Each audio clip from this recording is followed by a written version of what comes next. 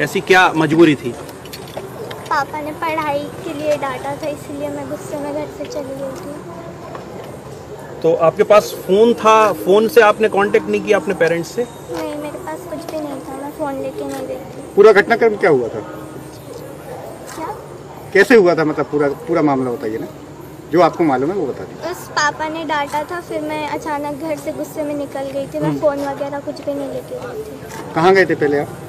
पहले मैं railway station गई रेलवे स्टेशन गए और मनमाड़ से हमारे गाँव जाने वाले थे अयोध्या की तरफ़। सूरज जी क्या है पूरा घटनाक्रम यहाँ इटारसी कैसे हम पहुँचे और थोड़े फैमिली मतलब में हम है जो है थोड़े परेशान थे हॉस्पिटल की वजह से हम परेशान थे थोड़ा सा। तो हमने मतलब वो फ्रस्ट्रेशन में काव्या को डांटा कि जल्दी उठना चाहिए पढ़ाई नहीं हो रही कुछ नहीं मतलब ना जरा थोड़ा ज़्यादा डांट दिया था हमने। तो गुस्से में निकल के सीधे वो हमारे ना घर निकल के बड़ी मम्मी के पास हमारे उधर जा रही थी गाँव जा रही थी। फिर अभी कैसे पता चला आपको कि इटारसी में है ये और इटारसी में पुलिस को हाँ हमारे पुलिस को उधर महाराष्ट्र के पुलिस को लीड मिली थी तो हमको भी वैसे पता चला तो हम तुरंत वहाँ से निकल गए। पुलिस भी अभी हमारे यहाँ आ रही है महाराष्ट्र से। छावनी पुलिस स्टेशन से वो आ रहे हैं अभी और जीआरपी पुलिस ने यहाँ पे इटारसी में उनको मतलब यहाँ पे ट्रेन रोक के इनको उतार लिया वहाँ जब आप यहाँ पहुँचे बाइक बेटी है आपकी बिटिया और यूट्यूबर है बड़ी। क्या कहते हैं इस मामले में?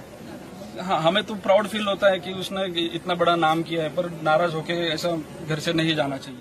ये हमें भुसावल जीआरपी और कंट्रोल रूम के माध्यम से ये सूचना प्राप्त हुई थी कि गुमशुदा है, नाबालिग लड़की है, आरती यादव, परिवर्तित नाम है उसका।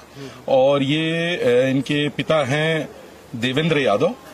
तो इनकी गुम होने की शायद पिता पढ़ाई के लिए कुछ डांट वोट दिए हैं। तो वहाँ औरंगाबाद के थाना छावनी में ज़ीरो अब्लिक, ज़ीरो तीन सौ बाईस अब्लिक बाईस धारा तीन सौ तिरसठ का प्रकरण इनके गुमशुदगी होने पर पंजीबद्ध हुआ था और सूचना पर उधर से आने वाली सारी ट्रेनों को सर्च किया जा रहा था। हमारे जीआरपी, टारसी की पुलिस ने मुस्तैदी से सर्च करते हुए कुशीनगर एक्सप्रेस को सर्च किया।